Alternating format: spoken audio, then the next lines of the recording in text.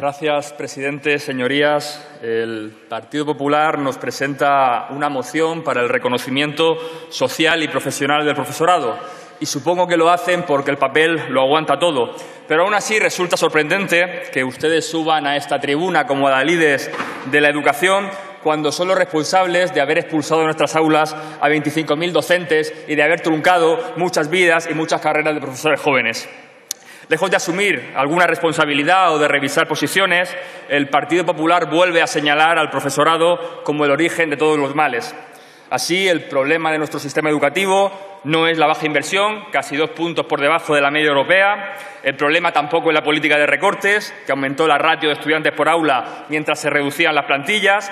El problema para ustedes siempre son los trabajadores, y en este caso un profesorado al que se le considera poco formado o poco motivado y al que siempre hay que aplicar una vuelta de tuerca más.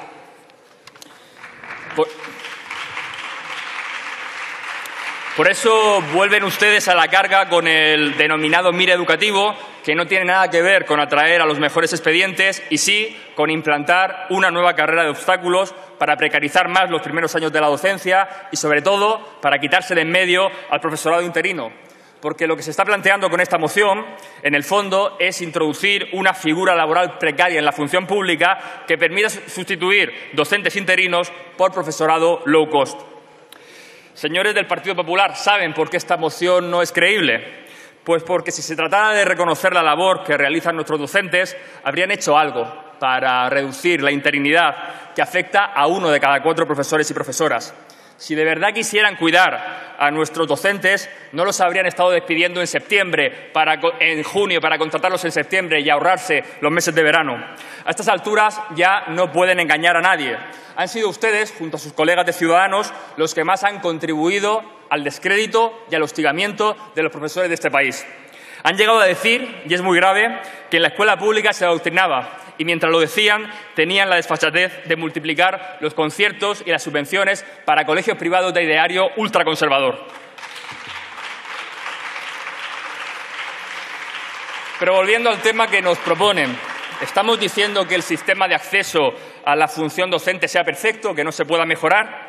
No, se pueden reformar muchas cosas. Se tendrían que publicar, por ejemplo, los criterios de corrección de los tribunales de oposiciones. Se deberían renovar los temarios de las especialidades, que son de los años 90 y que en muchos casos no contienen contenidos actuales. Se podría poner en marcha un plan de apoyo a los nuevos docentes que permita una práctica guiada de los docentes interinos durante el primer año de ejercicio. Se pueden hacer muchas cosas, como digo, pero lo que no se puede hacer es reírse de la gente. Porque antes de venir aquí a pedir reconocimiento social y profesional para los docentes, ustedes deberían aclararnos qué pasó en las últimas oposiciones a profesorado de secundaria para que más del 10% de las plazas ofertadas quedasen vacías. ¿Quieren ustedes mejorar el sistema de acceso a la profesión docente? Pueden comenzar por sus comunidades autónomas, respetando el esfuerzo de los opositores y garantizando que ninguna plaza docente ofertada quede desierta.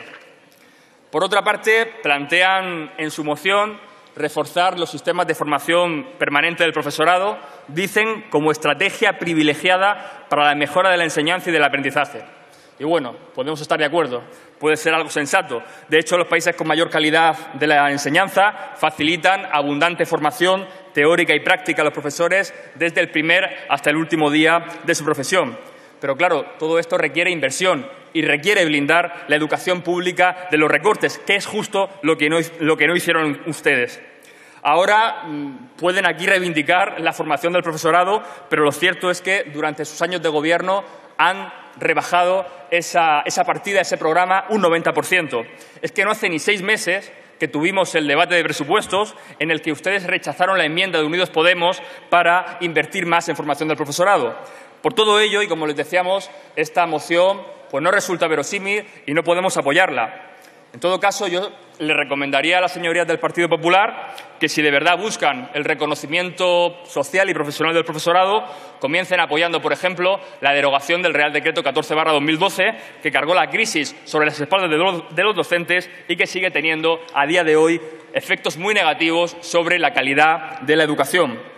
Y por último, yo les pediría que dejen de poner en la diana a los docentes de este país, porque el problema no son los profesores ni las profesoras. El problema han sido unos legisladores que nunca han creído en la educación pública y no les ha importado recortarla ni maltratarla. Gracias.